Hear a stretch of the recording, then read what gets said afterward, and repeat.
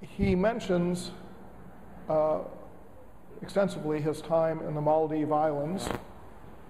Uh, uh, which are in the Indian Ocean, a uh, group of islands that are uh, fairly numerous and barely above water. Uh, they are one of the most homogeneously, homogen, one of the most same uh, areas of the world in terms of uh, religion. Uh, everyone is a Muslim. Uh, and uh, they, they are very uh, conscious of that. And they talk about who it was who brought Islam to the Maldives. And they say it's Abul Barakat al Berberi. Uh, this, is, this could be the word Berberi. In, in Arabic script, that's a B here, that little thing. Or it's a T, or it's a TH, or it's a Y, depending on what dots you put on it. This letter here is either an R or a Z. Then we have another one, that's a B, a T, a TH, uh, or a Y. And then we have another one that's an R or a Z. And then we have a good old familiar uh, long I or Y. So they say, okay, um, you put dots here and you have, have better, better. And so you say, okay, this is the guy who brought Islam to the Maldives. Better. Well, the I on the end means it's a of or related to something. So of or related to better. So he must be a Berber.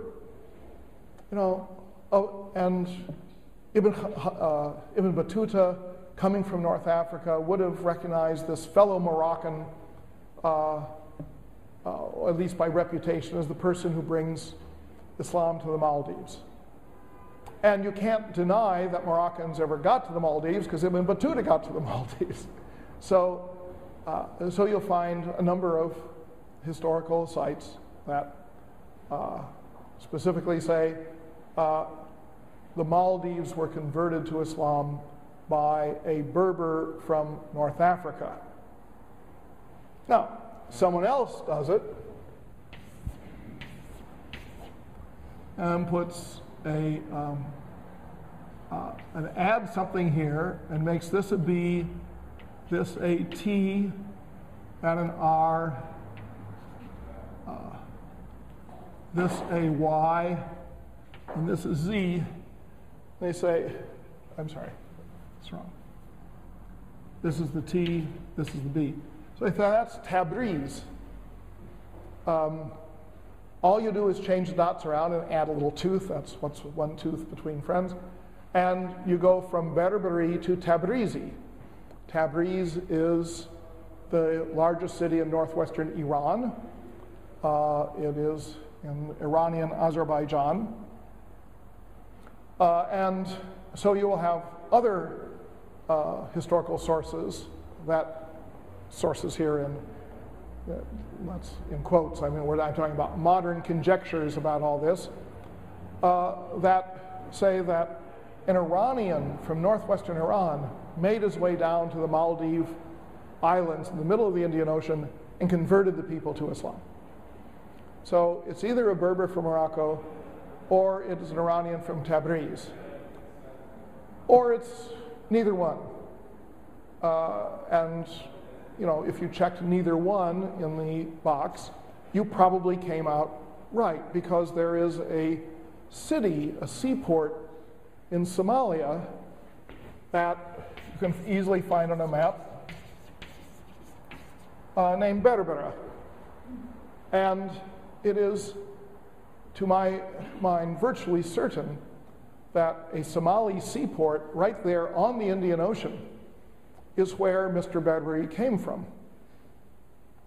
Uh, now, the point of this uh, of this exercise in Arabic spelling is that when you have but one source and you have no, um, incidentally, the, the, the, source that Ibn Battuta uh, cites was an inscription in which the dots were not, apparently not, not uh, written, and the inscription has uh, lasted through the 19th century and then disappeared, so nobody can see it anymore.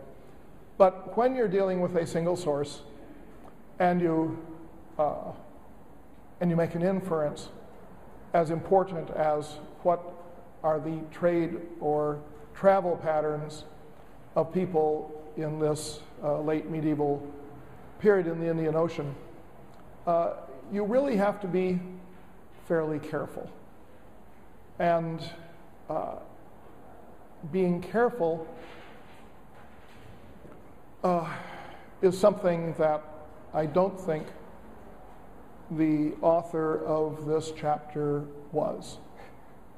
Uh, or um, I don't think he um, devoted as much care to the precision of the writing as, Uh, as he should have.